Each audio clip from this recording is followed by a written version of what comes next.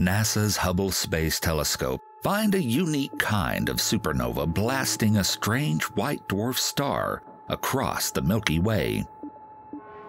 An exploding white dwarf star managed to survive a partial supernova, blasting itself out of its orbit with another star. The star designated SDSS J1240 plus 6710 lies about 1,430 light years from Earth in the constellation of Draco.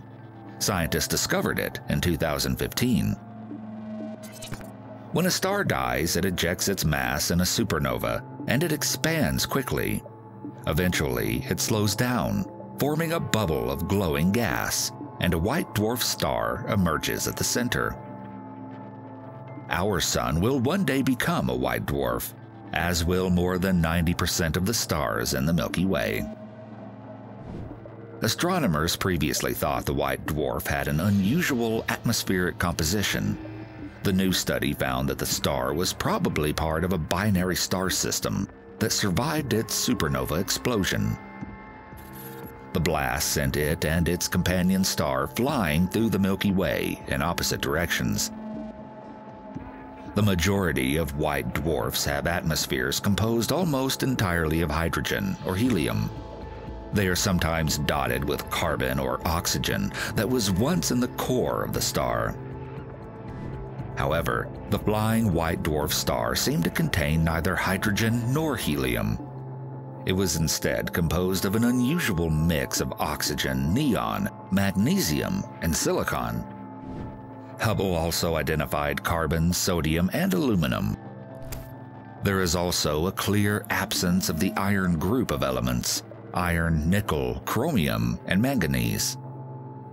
The lack of the heavier elements suggests the star only went through a partial supernova before the nuclear burning died out. The researchers also found the white dwarf was traveling about 560,000 miles per hour in the opposite direction that the galaxy is rotating. Moreover, it had an especially low mass for a white dwarf, only about 40% of the mass of our Sun. It appears the binary star lost a lot of its mass during the partial supernova. It also sent the two stars flying in opposite directions across our galaxy. The researchers compared the movement to that of a slingshot. The white dwarf's chemical composition, low mass, and high velocity suggest both that it was closely orbiting another star and experienced the hallmarks of thermonuclear ignition. Whatever type of supernova happened here is one we haven't observed before.